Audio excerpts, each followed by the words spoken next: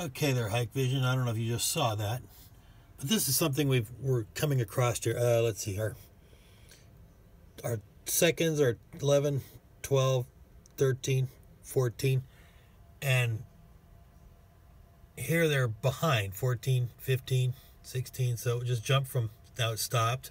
17, 18, even though I'm actually at 23 seconds. 27, 8, 9, 30, 31, 32, 33, 34, 35, 36, 37. This is that video lag time I've been talking about. So here are our, our I don't know what it is, but there's a video lag. And now you can see how far back it gets. So there's 48, 49, 50, 51, 52, 53, 54, 55, 56, 57, 58. So there's lag time. I don't know what the heck's going on. But it also gets that weird band across the bottom there. And this is, uh, what channel is this thing?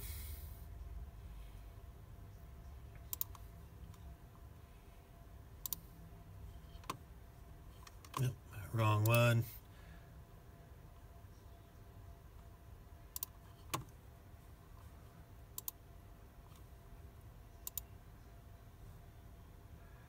So that's uh, 15.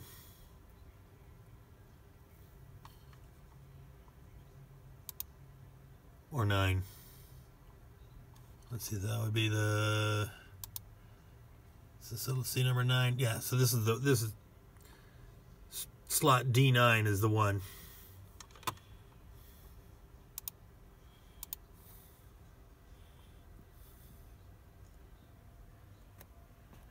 So here we're at three, four, five, six, seven, eight, nine, ten, eleven, twelve, thirteen, fourteen, fifteen, sixteen, seventeen, eighteen, nineteen, twenty, twenty-one, twenty-two, twenty-three, twenty-four, twenty-five, twenty-six, twenty-seven, twenty-eight, twenty-nine, thirty. So I don't know what the heck's going on there, but this is a brand new uh, EXIR camera. I just put it up yesterday, and it is camera setting.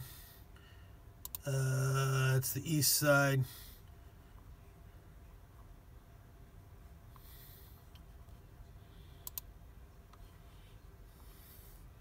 So here's our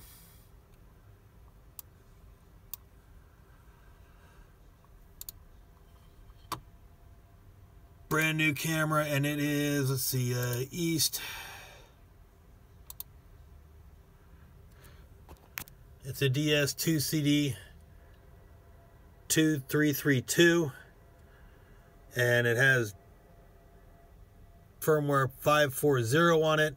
I rolled it back to the 540 firmware because the 545 firmware had a really terrible night picture and there was no gain adjust so you lose your gain adjust with the 545 and in version 540 uh, you get the gain control back. So uh, then the night picture was just terrible in uh, 545.